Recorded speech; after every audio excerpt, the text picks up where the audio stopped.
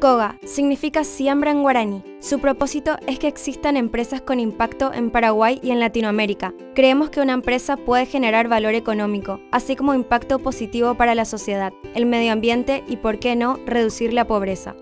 Gramo. Son charlas que buscan inspirar a la acción. Gramo da voz a personas con modelos de éxito diferentes, presenta historias y experiencias positivas del país. A través de los concursos de innovación social de trampolín, se identifican personas con ideas para solucionar un problema a través de un emprendimiento. Koga les ayuda a validar las ideas con las comunidades, definir un modelo de negocio sostenible y desarrollarlo. Además, Koga ofrece el programa de formación Transformadores, donde emprendedores pueden llegar con una idea y salir con suficientes conocimientos y herramientas para crear el emprendimiento. Desde el Impact Lab, Koga acompaña a emprendimientos sociales. El Lab incuba, potencia las ideas de los emprendedores para que se conviertan en una empresa de impacto, planta la semilla y le ayuda a crecer.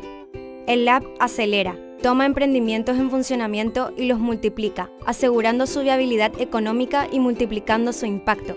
Riega y cuida la planta para que se convierta en bosque.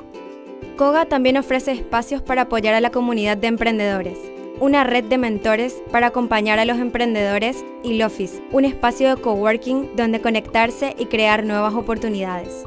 Koga está desarrollando un mecanismo de inversión de impacto que conecta emprendedores con formas de financiación más ventajosas y personas que quieren invertir su tiempo y recursos en empresas que transformen la realidad.